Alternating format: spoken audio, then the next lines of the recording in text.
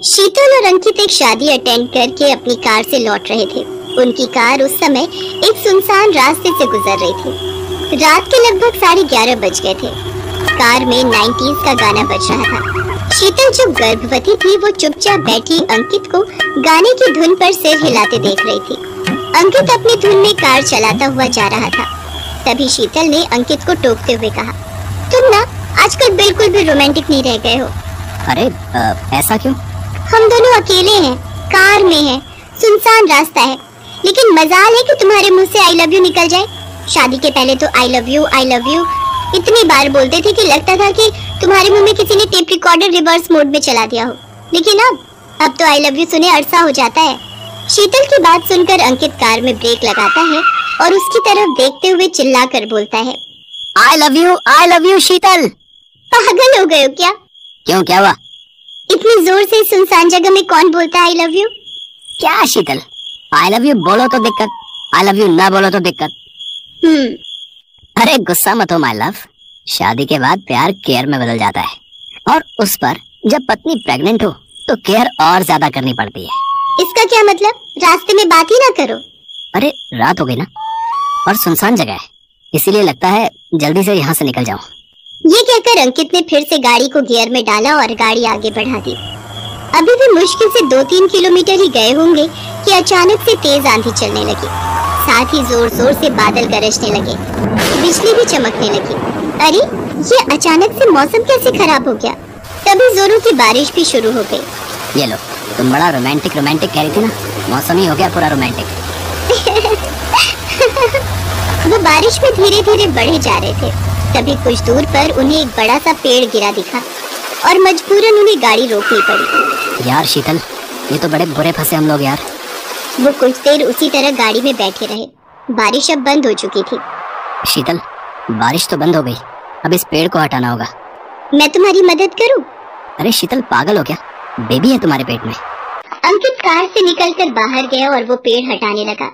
लेकिन अचानक से आकाश में बिजली कड़की और नीचे ज़मीन पर आ गिरी। अंकित की स्पॉट डेथ हो गई। शीतल ने ये देखा तो वो भागी भागी कार से बाहर आई। लेकिन अंकित का शरीर तो पूरी तरह शांत पड़ गया था। अंकित! अंकित! ये क्या हो गया? ये क्या हो गया, अंकित?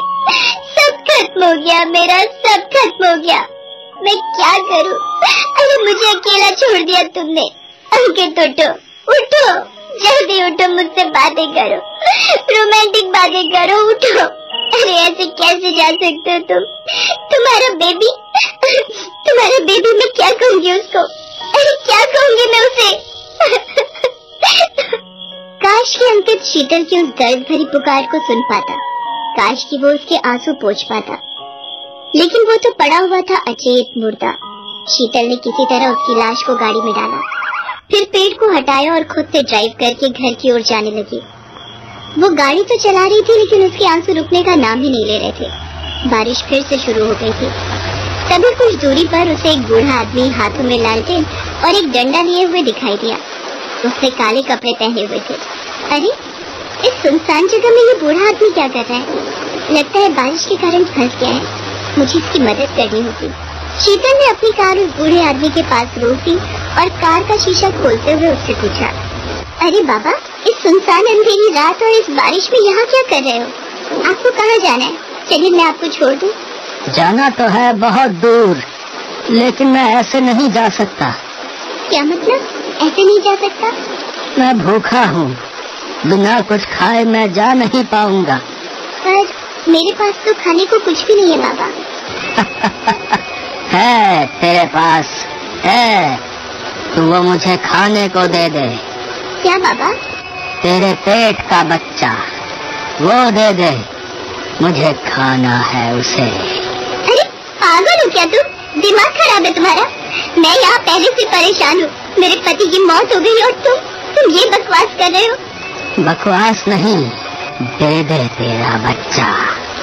तभी शीतल को लगा कि उसकी कार की सीट पर कोई औरत आकर बैठी है क्योंकि उसके कानों में उसकी चूड़ियों की आवाज़ आ रही थी। शीतल ने कार के शीशे में जब पीछे की सीट की ओर देखा तो उसने देखा कि एक भयानक चुड़ैल अंकित को अपनी गोद में लिए बैठी हुई है।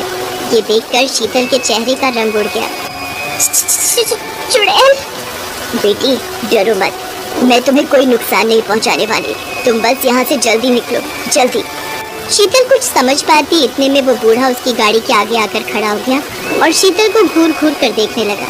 मुझे अपना बच्चा खिला दे। खिला दे अपने पेट का बच्चा। मुझे भूख लगी है, खिला दे।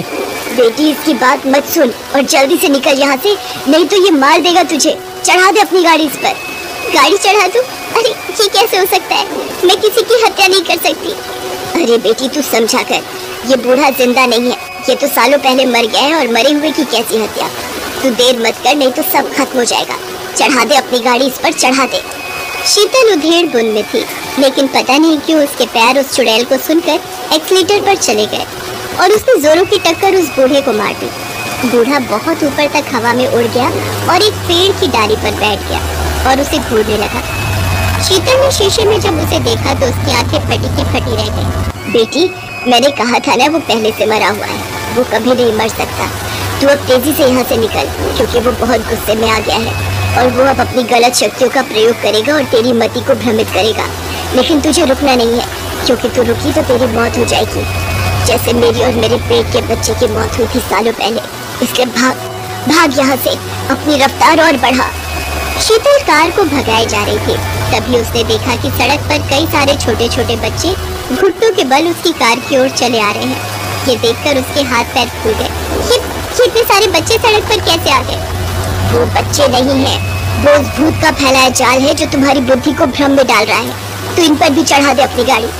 नहीं, मैं ये नहीं कर सकती। ये करना पड़ेगा। नहीं तो ये भूत अपने मंसूबों में सफल हो जाएगा। और जानती हो जो जो रात बढ़ेगी, इसकी ताकत बढ़ेगी। इसके माया का जाल और बढ़ेगा क्योंकि ये इसका इलाका है। और इसमें प्रवेश करते ही इसके माया का जाल ताकतवर हो जाता है। इससे कुछ मत सोच और चढ़ा दे गाड़ी। और हाँ जो जो रोशनी होगी, इसकी माया खत्म भी होगी। शीतल ने कार उन पर चढ़ा दी। लेकिन जैसा कि उस चुड़ैल ने कहा था, वो सब कुछ उस भूत का फैलाया जाल था। कार की टक्कर के पहले वो सारे बच्चे गायब हो गए। उसके बाद उस बूढ़े भूत ने और भी अपना जाल फैलाया।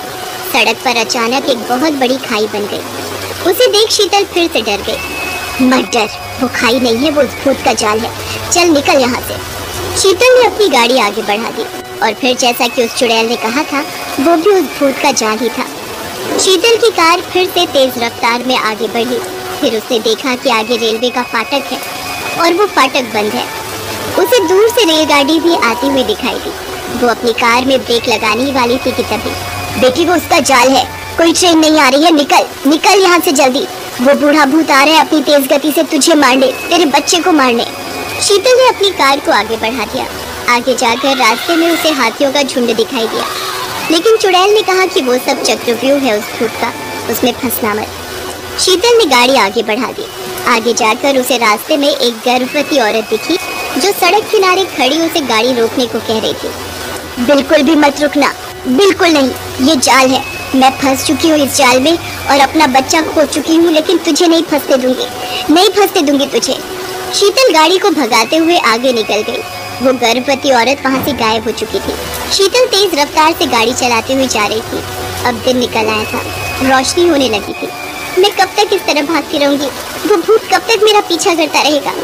ये पूछते हुए शीतल ने जैसे ही कार के पीछे देखा तो वो चौंक गई क्योंकि कार के पीछे तो कोई चुड़ैल थी ही नहीं। उल्टा अंकित उसे घूर घूर कर देख रहा था। ओए इतना घूर क्यों रही है? बहुत देर सो गया क्या मैं? इतनी देर से तू गाड़ी चला रही है। शीतल अब भी आँखें फाड़े अंकित को देख रही थी। अंकित तुम ज़िंदा हो? कहीं कहीं ये भी तो उस भूत का कोई जाल नहीं। ज़िंदा हो मतलब? भूत का जाल? और क्या हो गया तुझे हैं? ये सब क्या बड़बड़ा रही है? लगता है कुछ ज़्यादा ही कार चला ली तूने। शीतल अंकित को अब भी घूर घूर कर देख रही थी और उस चुड़ैल की बातों को याद कर रही थी जब उसने कहा था कि सवेरा होते ही उस भूत का जाल समाप्त हो जाएगा। इसका मतलब अंकित की मौत भी उस बूढ़े भूत का एक जाल ही थी। हे भगवान तेरा लाख लाख शुक्रिया। और शुक्रिया उस रखवाली चुड़ैल का जिसने मेरे परिवार को बिखरने से बचा लिया। इस घटना को आज कई साल बीत गए हैं, लेकिन शीतल जब भी उस घटना को याद करती है तो